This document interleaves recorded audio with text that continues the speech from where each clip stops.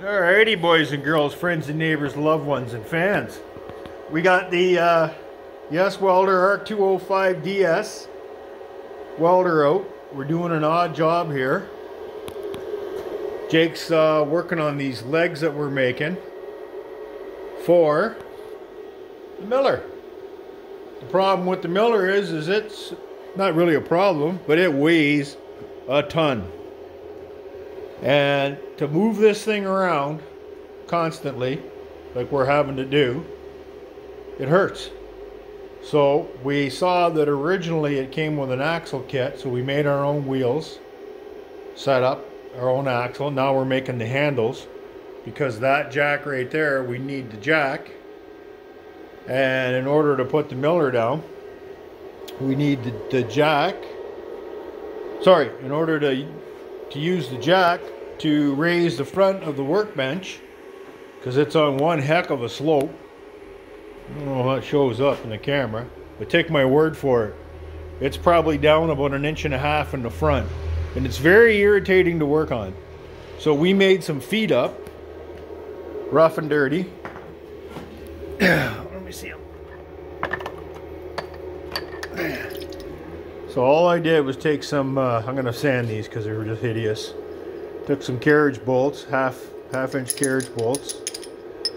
And we're going to make feet to go in there. I bought them long because I don't know what I'm going to need, right? So it doesn't matter. Carriage bolts are nice to work with sometimes because they're threaded all the way. As you can see. So we're going to, we've been using the Yes Welder. Now I had the first crack on it because Jake was in the house. And uh, I was playing with some Lincoln Fleetweld rod, and Jake's telling me that that's a pipe rod.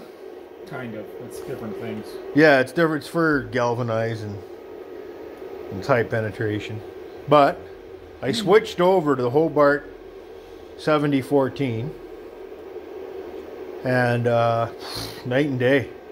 Stuff flows like caulking. It's amazing. I got some in uh, Forney, I think. I bought another five pound sleeve, but I have this, the Hobart, and I think I bought the Hobart on Amazon as well as the Forney. So Jake's gonna try to run that. Like Jake's not really uh would you call you wouldn't call yourself a stick guy, would you? No, I did tons and tons and tons of it in school, but I don't get the opportunity to weld much anymore because of where I'm working. So there's certain rules and stuff. So it's been a long time since I pounded the stick every night. For a while there, I was getting pretty good at it. But mostly for myself, it's MIG and TIG welding, I would say. But Yeah, Jake, Jake's a TIG artist. I did lots of stick in the steel mill, fixing dies, uh, fixing fixing fixtures. Um, we had limited resources to equipment, so everything. I mean, I was burning quarter inch rod. That's crazy. At uh, you know 300 amps. I think it was 300. I don't know. Don't don't quote me on that. Um, Jake's gonna give that a shot again. This little welder, if you get the right rod, eh, the thing works. So I mean, I did a review on it, and uh, yeah, we're using it. We're gonna set it up next to the bench because it's that handy. And right now, I mean, I incinerated those half inch bolts and we're running her off the bench. That's 110 volts. You know, we don't have the big power in the garage. This is what we got for power. That's it. We don't have a we don't have a 240 volt circuit here. Matter of fact, when we moved in, that was only on 110 out here. Both both sides of that um, box were jumped together. We fixed all that. We ran a, a, temporary feed wire across the basement to get power out here.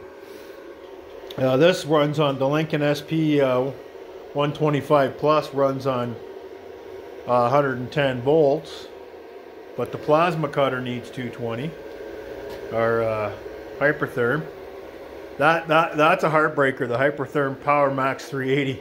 You can't get parts for it. Uh, they discontinued it. I don't understand that. I mean, it's a good running machine. I'm really disappointed with Hypertherm with that. That just uh, that's just crazy in my world. But it is what it is. And anyway, we'll get back to the Arc Well, the Arc 205 DS. What a monster. Okay, Jake, let's let's uh Let's scratch, scratch that baby, get it going.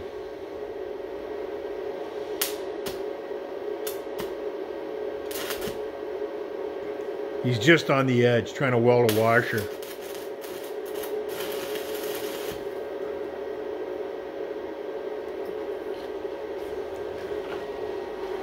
I mean, literally, guys, this is a 110 volt welder.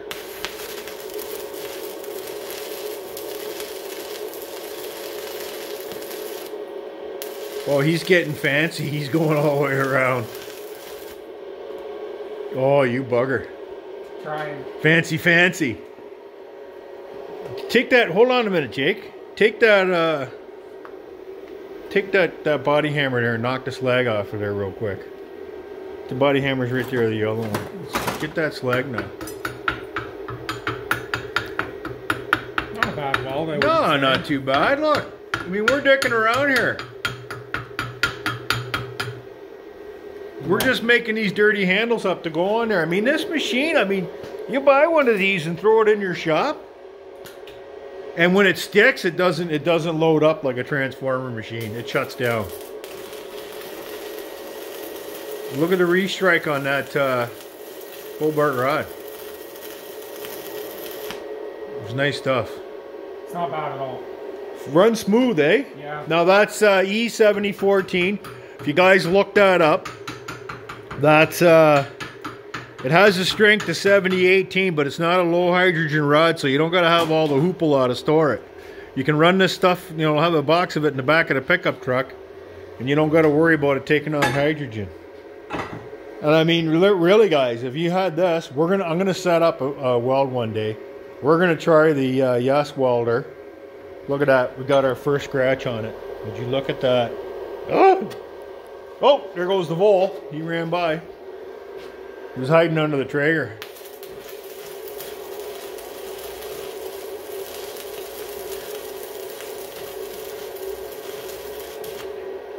It's running like a Cadillac.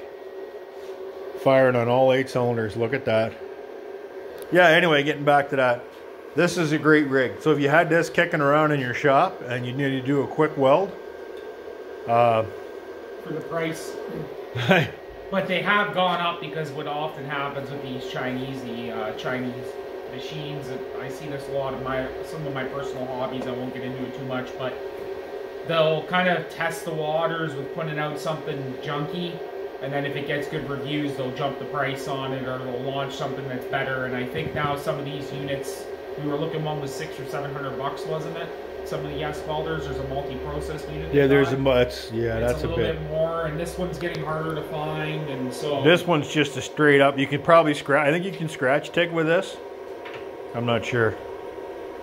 I'd have to look up the. Um, you would be able to with a, uh, yeah, you would because you can, uh, you could run it. You'd have to run your gas nozzle on your torch, but you could do a scratch TIG setup with this. You just don't have a gas control at all. Is that the bowl? We got voles in here. They're like fat mice. No, well. Anyway, getting back to this.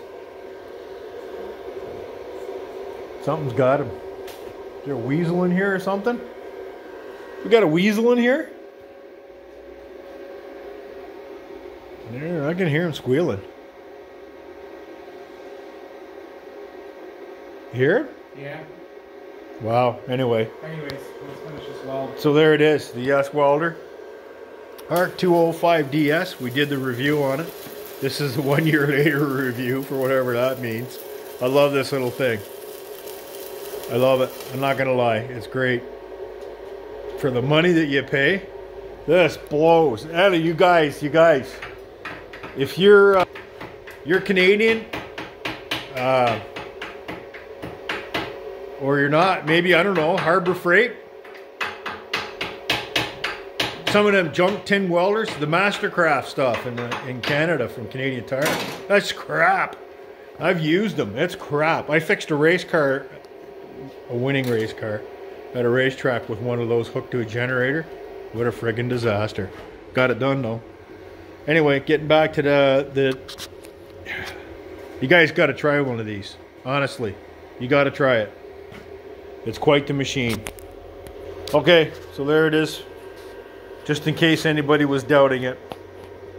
I mean, if you guys want, mention something in the comments. We'll run some big fat long beads with it. Put it to the test, but I think we'd probably have to get 120 out first.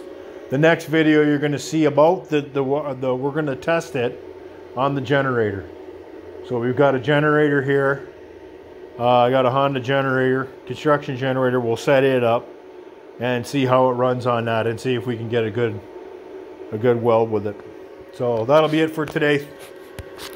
Uh, if you're new to the channel, welcome for sure. If you're not, welcome back. And thank you guys. Uh, you saw the uh, the chipper shredder fiasco. That's all I got to say about that. And uh, we're going to get back to uh, working on this and getting the work, the bench set up because we're behind on projects. And uh, yeah, got some company coming this weekend. Anyway, like, subscribe, ring the bell for more content. Please subscribe. We're, we're uh, and it's not just me; it's all the content providers. We're we're, we're all averaging around six percent of the people who view hit the subscribe button. And I'm trying to figure out why that is. I mean, I don't know. Anyway, like, subscribe, ring the bell. See you soon. Take care. God bless. And uh, yeah, love the one you're with. If you can't find the one, whatever. Love the one you're with, like the song says.